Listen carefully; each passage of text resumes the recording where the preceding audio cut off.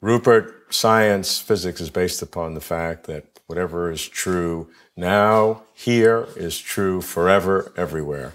The laws of, of physics. But some people say that some of them may be changing over time. Some cosmologists try to explore that. What do you think about the laws of nature, physics? Uh, do they change? Well, I don't see why not. Uh, we live in a radically evolutionary universe.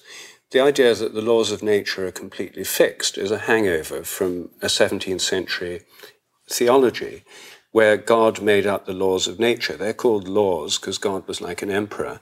And um, everything had to obey them because he was also being all powerful, a kind of universal law enforcement agency. Um, that metaphor is incredibly anthropocentric. Um, it got built into the foundations of science and it's carried on ever since, with most scientists never questioning it.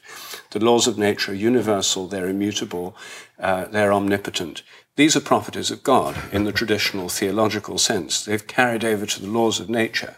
Many scientists have eliminated God from their world view, but the laws of nature are kind of hangover, the ghost and the machine of uh, mechanistic science. So the idea they're fixed is purely an assumption, it's not a fact. Um, and the idea that they were fixed right at the beginning of the universe, billions of years ago, uh, when there was no one around to observe things, is a massive act of faith.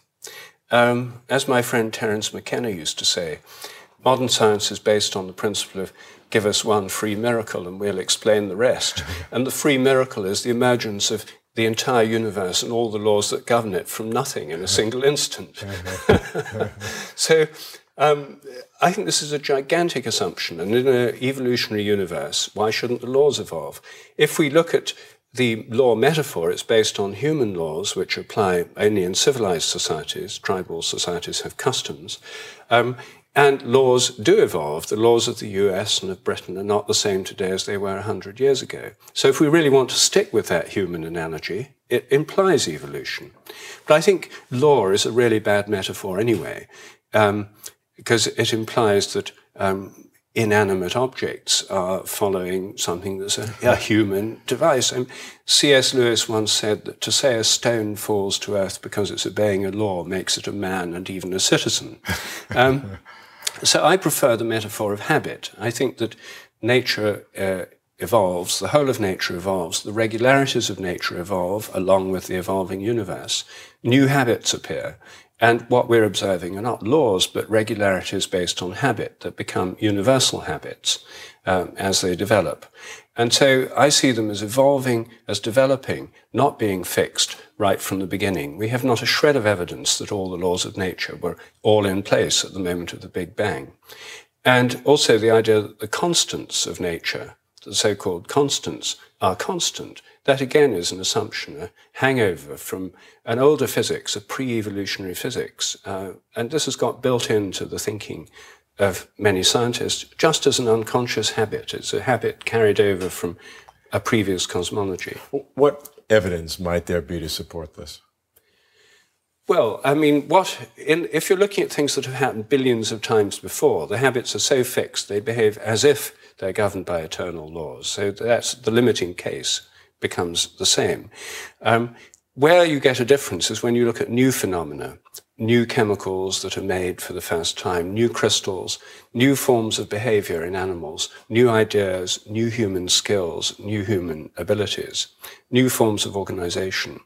Um, according to the view I'm putting forward, each of these through repetition should become more habitual. That means it should happen more easily, more probably.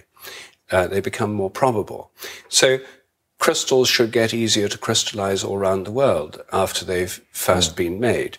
The more people that make them, the, the, easier they should get to crystallize everywhere else. There's good evidence that actually happens from chemists. Um, chemists have known this for a long time. They don't explain it in terms of morphic resonance. The conventional explanation in chemistry is that this happens because fragments of previous crystals get carried from lab to lab on the beards of migrating chemists. Um, uh, so I mean, oddly enough, they take that kind of anecdote very seriously. Um, and no doubt chemists could carry fragments of crystals from lab to lab. But I'm saying that even if you exclude migrating chemists from the lab, and even if you filter dust particles from the atmosphere, this greater ease of crystallization should still occur. You mentioned morphic resonance. Yes. What is that? Well, morphic resonance is my own hypothesis to try and explain this principle of evolving habit in nature. Habits depend on memory, usually unconscious memory. Your habits and my habits depend on a memory of what's happened before, but we don't remember every instance. The whole point of habit is, is unconscious memory. I think nature's full of unconscious memory that uh, underlies these habits. Then how does it work? Well, my hypothesis is that similar things influence subsequent similar patterns of activity on the basis of similarity, that similarities connect things across time and space from the past to the present. And that I call morphic resonance. What's similar is the pattern of activity.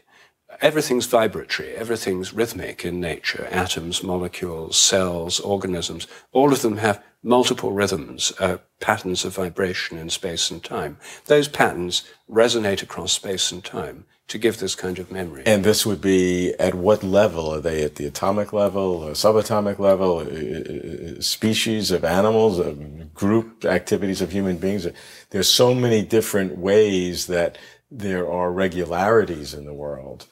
Well, all of those levels, I think, have morphic resonance. Inside my body and yours, there are innumerable water molecules, for example, and those have hydrogen and oxygen atoms. The structure of the hydrogen and oxygen atoms, based on resonance from previous hydrogen and oxygen, going back billions of years. Water molecules have been around for billions of years too. Those have their own habits, and then, but they're organized in in cells together with lots of proteins, DNA, other molecules. All of those have habits and structures that are based on resonance. The cells themselves, the organs, the tissues, the whole body, all have rhythms and all at their own level are resonating. So there are different morphic resonances at each level of the of the scientific hierarchy. Each each one has its own. Yes. Because the traditional understanding in a reductionist sense is you can explain water molecules by going down to the behavior of atoms and them going then further to the component parts of atoms. And you can't, if we knew enough, be able to go bottoms up and to be able to explain the behavior. Yes. Well, I think that kind of reductionism is a fantasy. I mean, no one ever does it. You don't explain the liquid properties of water by quantum physics of hydrogen and oxygen atoms. Nobody in practice does that. Correct, but, but they say they can ultimately. Well, they can't. But they tell us that sometime in the future they might be able to. That's an act of faith. It's not a scientific proof. If somebody comes along and says, I can explain the whole of nature in terms of a few fundamental laws of physics, predicting the behavior of an entire organism like a fruit fly just from knowing the atoms inside it. Okay, dream on. I mean, this is, this is a, a kind of fantasy and people can't deliver on this. And they might persuade people that they'll do it at some time in the future. But this is what the philosopher Sir Karl Popper called promissory materialism. It involves issuing promissory notes against future explanations, much more undated promissory notes. So, I mean, I can see that's an act of faith of the reductionist, uh, but that needn't persuade anyone if they actually are interested in evidence. And actually, it's not true that science works in terms of reductionism. People in practice study things at their own level. Yeah, sure. Sociologists sure. don't study atoms inside me and you, they study the behavior of societies. And when cosmologists study the entire universe, they don't start with particles. They start with the fields of nature, including the gravitational field, which is a top-down field. You can't have a bottom-up gravitational field. The gravitational field is the universal field of the universe. It's the all-inclusive field of all nature.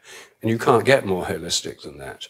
So um, I think that a kind of holistic perspective, looking at systems at their own level, is in fact what goes on in all branches of science. So you believe these morphic fields that express this morphic resonance occur at all levels of, of reality and uh, interact with whether there must be infinite numbers of these. Not infinite numbers. I mean, there's finite numbers of species sure. in the world. I mean, we're here amongst countless species of beetles and other insects. Right. There's, but it's still finite. Yes. And um, the, the, there are all these different species. All these cabinets are full of, uh, of, of, them. There's drawers here full of these different beetles and so forth. Um, and these, each of these is a different species. It, all the members in that species are recognizably part of the species. That's why we have type specimens here at Oxford. Um, all around the world, you can find millions of beetles of each species. Sure. So what we find in nature is there's certain patterns, recurrent patterns of organization. Each species is recognizably part of that pattern. Each kind of molecule or each kind of crystal has a, a, pattern. There are millions of individuals all sharing in that form. The key thing is to explain those common forms that many individuals share.